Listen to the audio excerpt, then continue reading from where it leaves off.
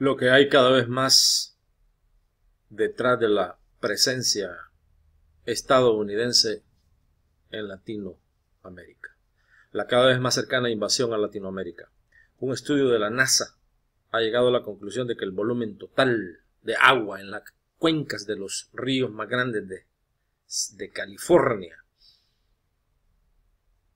Sacramento y San Joaquín, han disminuido desde el 2014 en 34 millones de acres pies, a 40, o sea, 42 millones de metros cúbicos, lo cual significa un efecto demolador para la economía de ese extenso estado de la Unión y por lo consiguiente, por supuesto, un gran golpe a toda la nación imperial, ya que California provee más del 70% de toda la producción agrícola a la Unión Imperial Americana.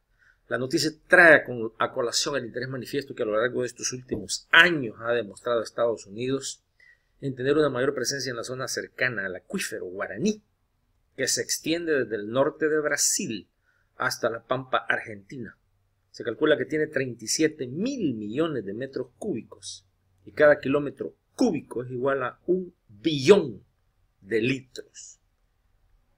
Con 1.190.000 kilómetros cuadrados de extensión, que es una superficie más grande y mayor que la de España, Francia y Portugal combinadas, que comprenden juntas 850.000 kilómetros cuadrados del Brasil, equivalente al, al casi 10% de su territorio. 225.000 de la Argentina y 70.000 de Paraguay y 45.000 de Uruguay sus fuentes, todo esto de lo que estamos hablando en estos momentos, podría indefinidamente, en algunos casos se habla hasta de 5, 6, 7 siglos, eh, que de abastecimiento a, a, más de 360 millones de personas, mientras la población actual en el área del acuífero se estima en 17 millones. Ya los jefes del Comando del Ejército Sur de Estados Unidos, que son los que tienen a cargo la toma y el control total de lo que es Latinoamérica, han mantenido una cíclica presencia en esa región. El mismo Banco Mundial, en compañía del Fondo Monetario, el Banco Interamericano de Desarrollo, han ya hecho ah, estudios y a partir del 2007 han financiado proyectos en esa región que van todos eh, en dirección a lo que es esos mantos acuíferos. Las nuevas guerras tendrán como trasfondo entonces tratar de apoderarse de las grandes fuentes de agua, debido a la escasez y a la contaminación en algunos países de, ese líquido fundamental para la vida en el planeta. Algunas, eh, algunas estadísticas un poquito globales para que veamos de lo que estamos hablando. El 60% de la Tierra está cubierta por agua salada y solo un 2% de esta es potable.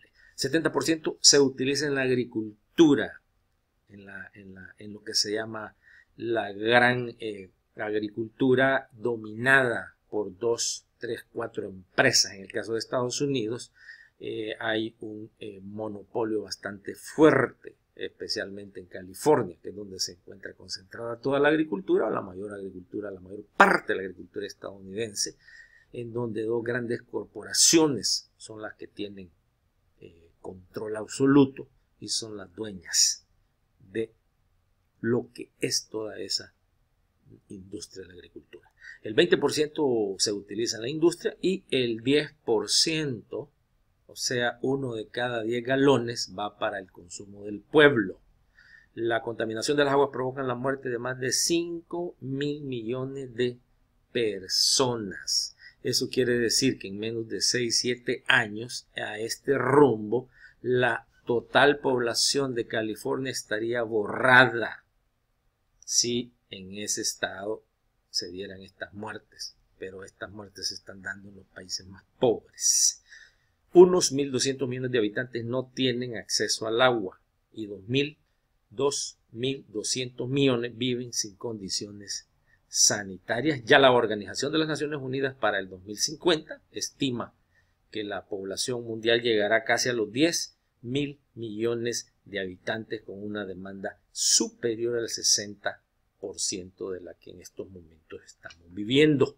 El 85% de estas fuentes hídricas se encuentran donde habita el 12% de la población. La CIA, Agencia Central de Inteligencia de Estados Unidos, ya ha afirmado que hoy, en este 2015, eh, ya una de las causas del conflicto, de conflictos, de intervenciones, de, de tomas de tierras de parte de la, del país imperial, será sobre el agua. Por supuesto por el petróleo también, pero el agua pasa a ser el petróleo claro de estos tiempos, el oro incoloro de estos tiempos. En 1997, cuando en América Latina primaban gobiernos entreguistas y gobiernos eh, que se entregaban a Estados Unidos, varios países abrieron sus puertas al Banco Mundial, eh, al pasar las universidades de Santa Fe y Buenos Aires, la de Uruguay y varias de Brasil, los derechos de investigación del, acuífero Guarani a esta institución.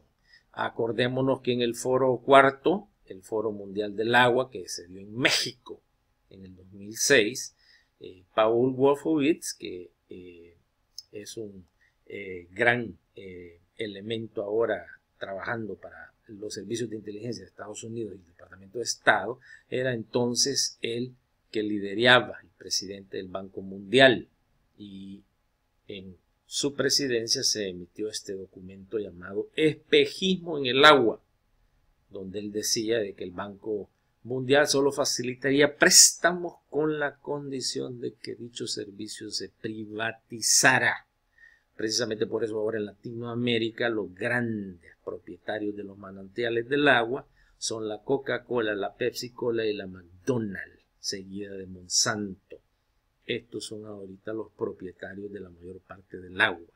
Precisamente por eso en Latinoamérica hay ciudades enteras a lo largo y ancho del continente en donde el pueblo no tiene acceso al agua.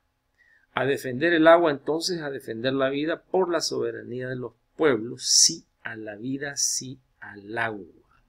Hay que poner atención Latinoamérica que con la reciente información de la NASA referente a la escasez del agua en el extenso estado norteamericano de California y otro gran número de estados de la Unión Imperial, Latinoamérica y sus pueblos tendrán que estar alertas para evitar las nuevas amenazas que se cierran sobre el acuífero Guaraní.